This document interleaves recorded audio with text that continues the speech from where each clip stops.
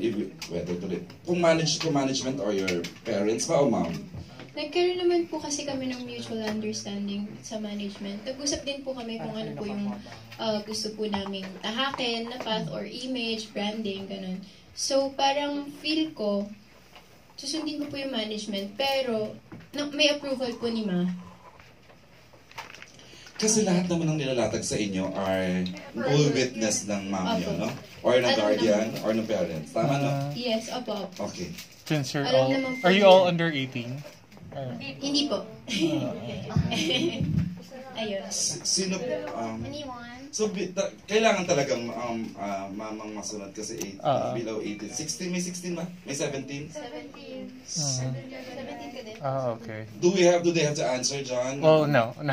No, hindi na. Siguro yung mga medyo, Yung medyo ah, above 18 na lang. above 18. area, Or 18. um, kung decision sa career, anong, who do you think na tamang sundin? Is it uh, the, the mom or the management Whenever um, I make decisions, um, I always assess kung ano yung sasabihin ng management and yung sa parents ko. So, in the end, it all depends on you talaga eh. So, kung komportable ka sa gagawin mo, kung nasa puso mo, mas magagawa mo, magagawa mo yung trabaho mo ng mabuti. Kumpara sa ide-depend mo lang sa management or sa parents mo, pero hindi naman bukal sa loob mo, parang hindi rin galing sa puso yung gagawin mo. So, nasa right age na si ano, kaya alam niya na, na, Mm. magaling, Mm. tama yung mga ano niya na, siya pa rin pala talaga yung, o di ba susunod? Uh, Tama no, gano'n na yun. Gano'n yun, ano, Ariel. Uh, Ariel. Pero tiwala pa rin po ako sa laging sinasabi ng management and ng parents ko. Mm. uh, So, it really depends. Yeah. Anyone above 18? yeah. 28? Charlie? 32 po. De, joke lang. ah, gano'n. Kapaligtaran. Actually, uh, nan- nagtitiwala naman po ako sa management. So, kapag may sinasabi po sila na gagawin ko, kinikwento ko lang po sa mami ko. Tapos, yung mami ko hindi naman po siya humihindi usually kung ano yung gusto kong gawin. Basta ipaglalaban ko din sa kanya na worth it yung gagawin ko. So, pag pinaglalaban ko pong ganun sa mami ko, ah dun siya naniniwala din na tama yung pinupuntahan kong path. Parang ganun po. So, So, lahat ng pinaglaban mo sa mami mo, tinanggap naman niya. Parang di po lahat. Pero medyo.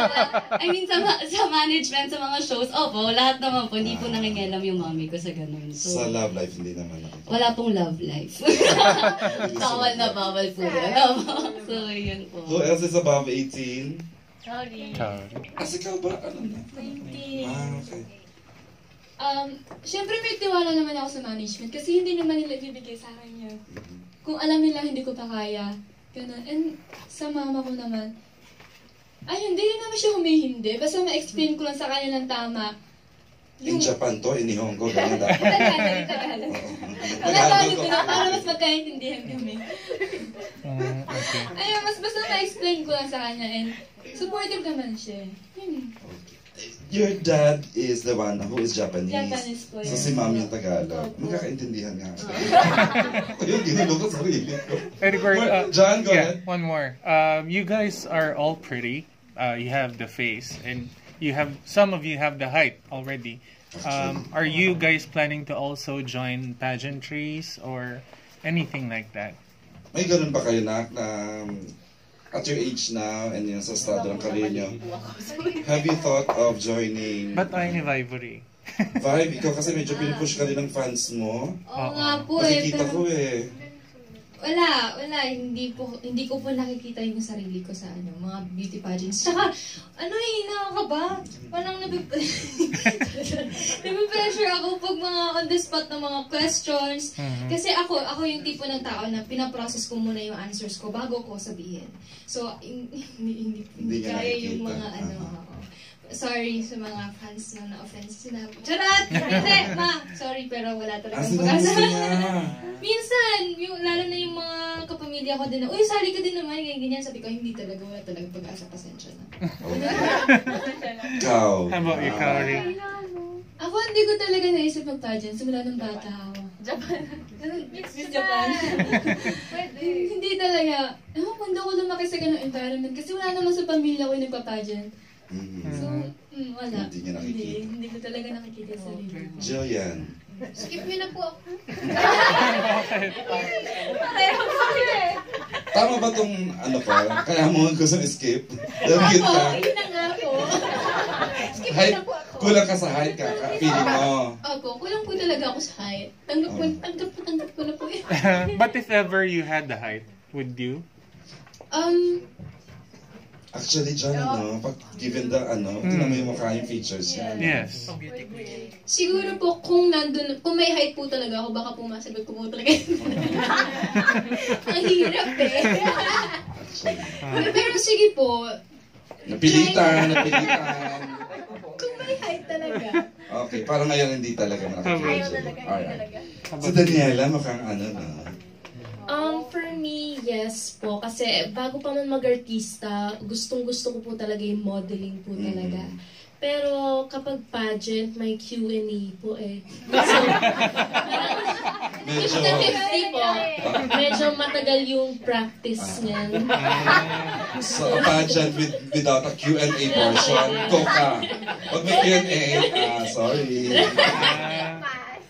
So may mga talent-talent Pass na. din po kasi maliit din po ako. So, um, sa height requirement pa lang po bagsak na ako. So, ayun po. So, inaano mo na yung thought na yun, yung idea Opo. na. Actually, dati po, nag, ano ako, parang sumali pa ako sa maliliit na pageant. Little Miss ka na. Maliliit na ano, sa school, sa ano ba? Hindi po, um, basta sa SM po siya ginanap eh, parang ganun po siya. Opo, so parang may nasalihan po akong ganun noon. Pero na-feel ko din po talaga na ang liit po talaga. So, hindi po talaga. Ayun po. Ayun. Okay. Belle, Wala na rin po akong pag-asa sa height. ano ba? You're 5'1". Konti. Pero hindi, ah, yun nga. Ah, hindi ko naki- nakikita sarili ko pageant eh. Oh, Oo. Okay. It, si uh, area. Ako po, I'm open to it. Although, Actually, ah, uh, Ah, I've experienced joining um yung pageants sa malilit na nung high school ako and na, awanan just naging grand winner naman tapos pinipiling Miss Tiza I did also uh, yeah I also did that and naging grand winner din po so parang after that ah, mas nag-continue, mas nag-focus ako sa mga commercials ko. Although yung mom ko mas push talaga na, mag-pageant ka pa, sumali ka pa sa ganito. Ah. Mag, Pilipinas ka. Pero sabi ko, no, I'm not for that na pag gusto ko mag-focus na ng commercials, mas easier pa yon Kasi stressful kasi yung mga preparation pag pageants eh. Mhm. And yeah, pero kung sabihin ng management na, Ariel, why don't you join, you know, Maging Pilipinas or something? Uh, Let's push it, why not, di ba? All right. John, you're good? Yeah, good. Thank Okay. you.